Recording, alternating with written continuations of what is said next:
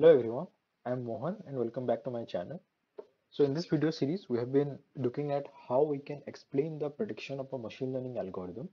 And this and in this particular video, we'll see a method which can which can help us explain any kind of machine learning algorithm. Maybe it's neural network, random forest, XGBoost, it doesn't matter. As long as we have the input and the prediction from the machine learning model, we can use this method to know which features are important for that data set. All right, so let's go ahead and see how it works. First of all, let's see, because I'm going to explain random forest in this uh, video. Let's see what is a random forest. Uh, well, random forest is just a group of trees, decision trees, where they are given a subset of data and they give certain output. So as in the last video, we saw that every decision tree gives us a feature importance based on how helpful that feature is to come to the decision. To get the feature importance for the random forest, we just uh, get uh, the feature importance for individual decision tree and then take the mean of that feature importance for the random forest. We'll compare the feature importance of the random forest instead. So let's see the method that we are going to talk about in this video. It's called permutation feature importance and it can be used to explain any black box model. So let's say we, we designed, let's say a black box model, machine learning or deep learning, any kind of model. And uh, de definitely we'll have some input features X and we have some prediction from the black box model, let's say Y bar. And we have the target prediction, the true label. We have the true label for that. So first with our all the features intact we'll get the y bar and uh, the target label y and from there we can find what is the accuracy with our all the features intact in the next step what we are going to do suppose we have three features xa xb and xc let's say we want to see what is the contribution of the xb feature towards our prediction. So what we'll do we'll randomly permute the samples in xb by keeping xa and xc constant that means what? That means the xb variable loses its importance. So it does not mean anything semantically now. You can say uh, a made up extra vector here. So doing this uh, random permutation to a particular column,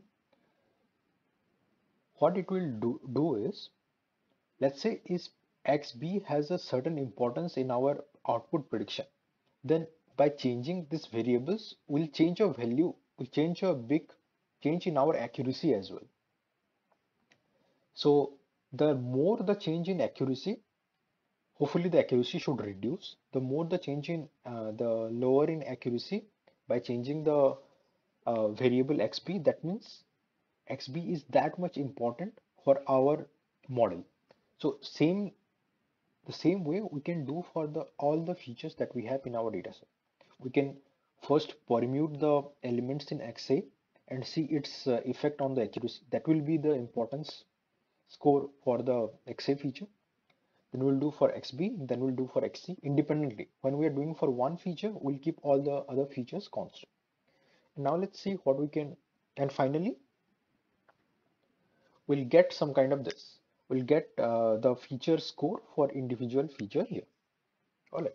Now let's see how we can do this Jupyter Notebook. Well, to do the Jupyter Notebook, because I'm going to explain the random forest algorithm, I'm importing the random forest classifier, I'm initializing the instance, and I'm fitting on my training data. And this training data and test data are for the same that I have been using from for this video series. You can refer back to the last video if you haven't seen it. And if I see the accuracy score on the training set, it's one, it's 100%. But if I see the accuracy score on the test data, it's 81%. That means my random forest is is uh, overfitted. But anyway, 81% is good enough accuracy. So let's see other matrices. So now what I'm going to do, I'm going to just take the feature importance of this random forest classifier where you can just obtain dot feature importance and I'm creating a data frame out of that. And you can see here. All right, you can, you can see here uh, the feature importance of different variables for this random forest algorithm. One important thing to note here is what is this control feature? So let me talk about this control feature a little more. It's very interesting.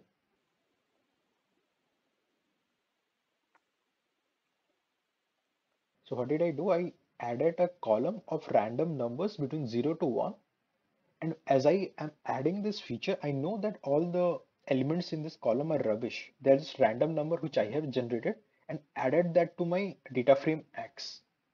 So what does that mean? That so let's go back to the feature plot.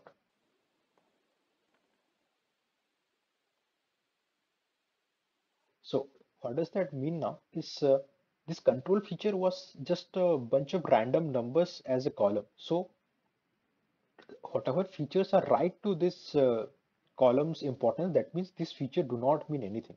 They have lesser importance than the random variable themselves. So how can they be important for our prediction? This can be also used as a very good way of feature selection as well. When you are when you have a lot of feature. So yeah, definitely you can go ahead and do this. That was that was about the just a random forest classifiers feature importance, which just sums up the feature importance for individual decision trees in there. But now let's see our method, the permutation feature importance, how we can do that. Luckily, there is a function directly available in sklearn. You can go to sklearn.inspection and from there you can import this permutation feature importance. And in order to initialize that, you need to give you give it your trained random forest model, or it can be any model. It can be, you know, like Keras model also you can use with per, uh, permutation importance. Then the test data you can also use train data but it's better to go with test data because then you can see which features are important when we are doing it on the test data like a real life the which the model has not seen before. All right. And n repeats equal to 5 means we, we are doing we're repeating this uh, random permutation five times for individual feature. So in that way we can somehow compensate the randomness in our data. All right. And after that you can just get uh, this result dot mean importance mean that means uh, from this five repetition it will combine the mean of each feature and just uh, put it in there. And I'm just creating a series and this is how the data looks like for the individual feature. So here we see the control feature is pretty pretty last compared to the random forest algorithm. But at the first at the first feature which are very important we see here xmb 10 x smea 21 4, XMEA 9, 5. They're pretty much same here. XMB 10, XMB 21, 4, 9. Yeah, you can see it's more or less same. But the advantage of this uh, permutation feature importance is, is can be applied to any algorithm. It can be KNN algorithm, it can be your decision tree, it can be uh, convolution neural network. So yeah, that is one advantage. But still, that one problem lies is uh, well, we are able to explain the model in an entirety in a global way but for individual prediction we don't know. Maybe for individual prediction if it says it belongs to fault number 5 these features are not important. This gives an only a global idea but not a local idea. But when we are doing fault classification we are more interested in that particular output of the machine learning model. So so let's say for time t it gave us an output that this belongs to fault class 5 then you'd like to know why for this particular why this at this particular time my machine learning algorithm is giving me fault number 5 and not fault number 6 or not fault number 0 so that's what we are going to explore more in the next upcoming videos which is called local explainability. Till now we have discovered the global explainability explainability of the machine learning model where we covered decision tree logistic regression and now permutation feature importance. I hope you find value in this video and I'll see you in the next video.